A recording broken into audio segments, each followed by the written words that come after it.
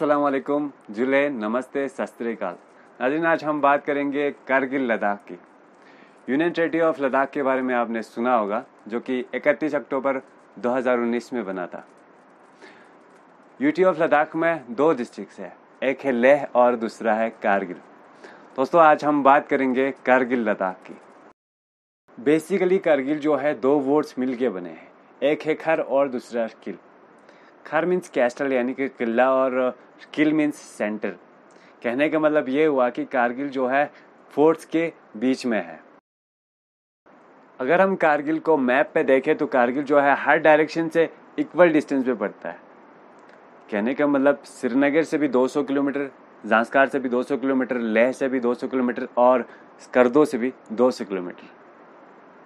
पुराने ज़माने में कारगिल को एक ट्रेड सेंटर भी कहा जाता था, जिसमें चाइना से, सेंट्रल एशिया से और इंडिया के अलग अलग हिस्सों से लोग ट्रेड के लिए आते थे। ये लोग कोई टी लेके, कारपेट्स लेके, स्लिक्स लेके और पुराने ज़माने के प्रीशियस स्टून होते थे, वो लेके आते थे और अपना ट्रेड करके वापस चले जाते थे। इसीलिए कारगिल को एक हिस्टोरिकल मीटिंग पॉइंट भी कहा जाता है। अगर हम कारगिल की पॉपुलेशन की बात करें तो 2011 के सेंसस के हिसाब से कारगिल में टोटल पॉपुलेशन है 1.41 लाख। और हम एरिया की बात करें तो 14,086 किलोमीटर स्क्वायर है। चलिए कारगिल को और करीब से देखते हैं।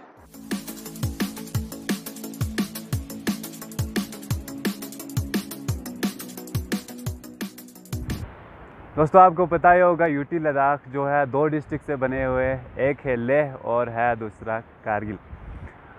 इस वक्त हम हैं कारगिल के ऐसे पॉइंट ऑफ़ व्यू पे जहाँ से आपको कारगिल का मैक्सिमम एरिया कवर करेंगे। यहाँ से आपको एक अच्छी, एक बेहतरीन नज़ारा आपको दिखने का मिलेगा। ये जो आप ठीक मेरे पीछे देख रहे हैं, यह है कारगिल का मेन मार्केट और इस वक्त जो आपका, ये जो बिल्डिंग है, वो है इमाम खोमनी टावर जो पास में ही एक ग्राउंड जैसा दिख रहा है वो है कारगिल सैनी पार्क और ये जो रिवर है, ये रिवर इसे है सुरू रिवर पास में ये जो ब्रिज है, वो है पुएन ब्रिज जो कि पुएन सिटी को, ये जो है एक पुएन सिटी है। ये जो ब्रिज है, वो पुएन सिटी और मेन मार्केट को कनेक्ट करती है। और ठीक आप मेरे नीचे डैम नज़र आ रही है, वो है इकबाल माइक्रो प्रोजेक्ट जो कि बहुत पुरानी है।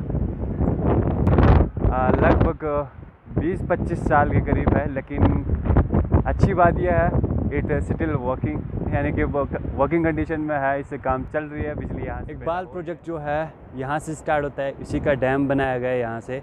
सूर्य रिवर का पानी इस्तेमाल करके कनाल के थ्रू लगभग दो से तीन किलोमीटर कनाल बना के इकबाल प्रोजेक्ट में इसी पानी का इस्तेमाल किया गया है। एक्चुअल में एक जो इकबाल प्रोजेक्ट है वो 1995 में कंप्लीट हुआ था। It's a small project it's about 3.75 megawatts और आज भी इकबाल प्रोजेक्ट चल रहा है और बिजली पैदा हो रही है इसी प्रोजेक्ट से। तो थोड़ा बहुत आपको इकबाल प्रोजेक्ट के बारे में जानकारी देना चाहता था। तो ये था इकबाल प्रोजेक्ट के बारे में थोड़ी सी जानकारी।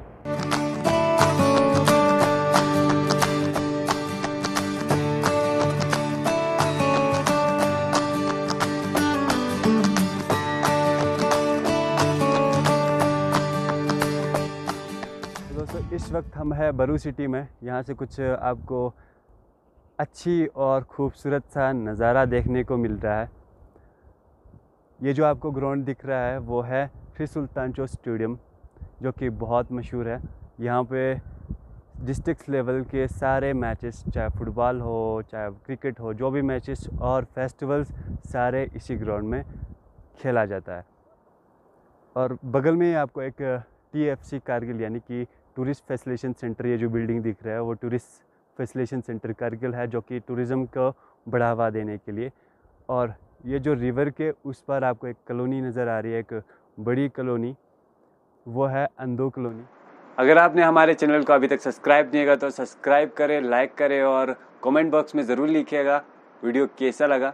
मिलते हैं अगले वीडियो में। तब तक के लिए खुदा हाफिज़।